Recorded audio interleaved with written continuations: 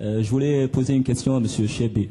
En fait, il a évoqué euh, M. Marzouki, Pinochet, Franco. Moi, je veux évoquer aussi les ayatollahs, les talibans.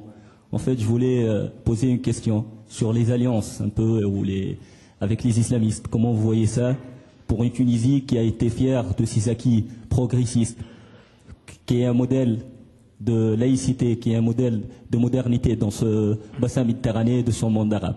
Excusez-moi, est-ce que vous pouvez, enfin, sur les alliances, les alliances politiques d'une certaine euh, classe politique. Votre dernière phrase sur la laïcité de la Tunisie, c'est ça?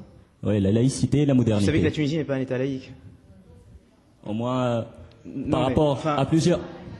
Mais ça dépend, ça dépend en fait, ça dépend des. Ça ne dépend de rien comment, du tout. C'est très clair dans la Comment vous voyez les choses Ça dépend de votre vision aussi. Ça dépend de votre vision. Et les trois religions existent et